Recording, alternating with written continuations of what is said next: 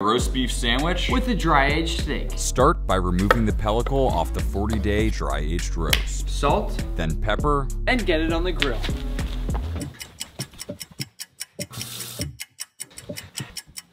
Oh, hi. Smoke until 125 internal for the perfect medium rare and slice thinly.